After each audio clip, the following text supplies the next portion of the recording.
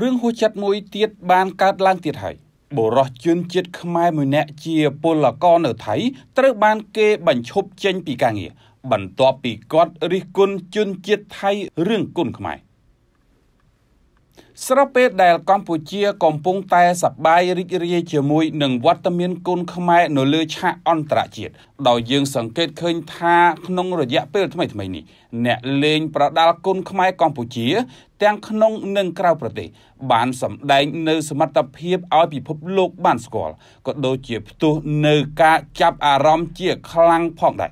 យើងដឹងហើយថាធឿនធីរ៉ាគឺជាអ្នកលេងពូថៅដៃគុណខ្មែរមួយរូប ដែលទទួលបានគេឈ្មោះនិងភាពល្បីល្បាញយ៉ាងខ្លាំងនៅពេលបច្ចុប្បន្ននេះ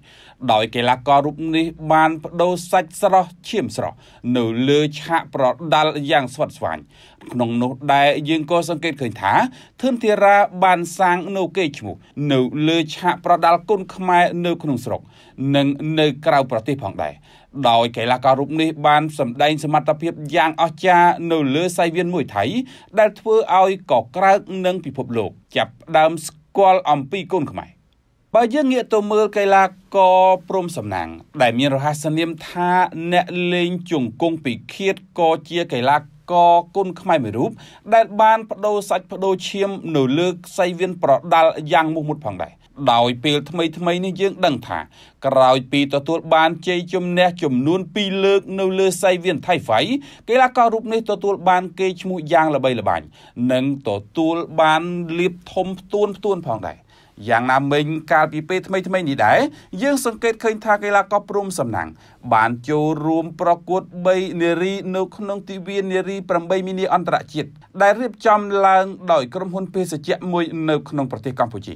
ហើយយ៉ាងណាមិញយើងសង្កេតឃើញថាកីឡាករព្រំសំណាងបានប្រើធរវេលា3នារីប្រកួតនៅក្នុងកម្មវិធីនេះរយៈពេលរហូតទៅដល់8ម៉ោងឯណោះដោយមិនបានសម្រាប់បន្តិចសោះ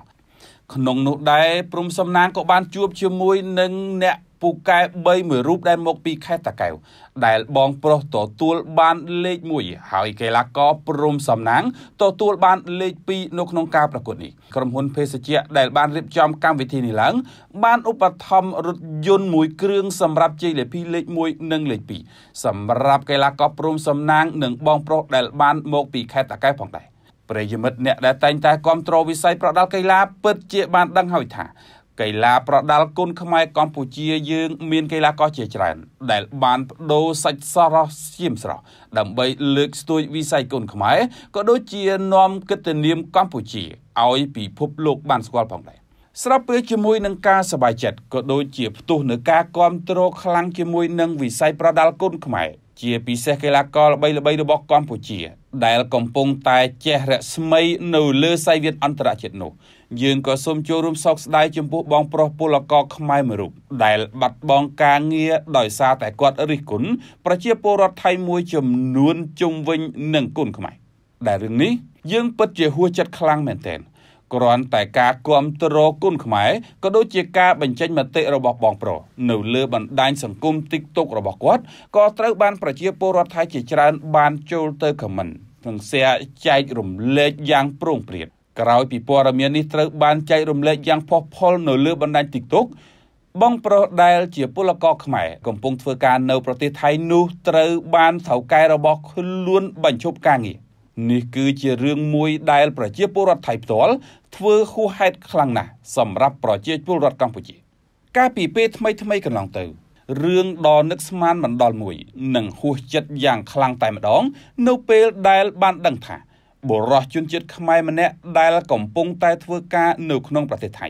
ស្រាប់តែត្រូវបានគេបញ្ឈប់ពីការងារបន្ទាប់ពីគាត់បានរិះគន់យ៉ាងចាស់ដៃទៅលើប្រជាជនថៃ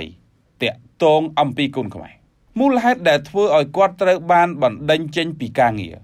គឺដោយសារតែគាត់បាននិយាយថាគ្រាន់តែកម្ពុជា ផ្លាស់ប្ដូរពីមួយថៃទៅជាគុណខ្មែរហេតុអ្វីពួកអ្នកមិនបញ្ឈប់រឿងនេះប្រិមិត្តការលើកឡើងរបស់បងប្រុសខាងលើពិតជាត្រឹមត្រូវគ្រាន់តែបដូរឈ្មោះសោះហេតុអ្វីក៏ប្រជាពលរដ្ឋថៃយកលេសមកធ្វើរឿងនេះឲ្យកាន់តែធំទៅ និងអូសបន្លាយរហូតមកទល់ពេលនេះបើយោងតាមគេហទំព័រ K-pop បានចុះផ្សាយឲ្យដឹងថារឿងរ៉ាវនេះបានคล้ายទៅជាប្រធានបទក្តៅកគុកនៅក្នុងពិភពអនឡាញថៃបន្ទាប់ពីបរិសុជនជាតិខ្មែរម្នាក់បានចេញវីដេអូនៅលើ TikTok ធ្វើការពន្លះទៅលើប្រជាជនថៃថាតើគុណខ្មែរខុសអ្វី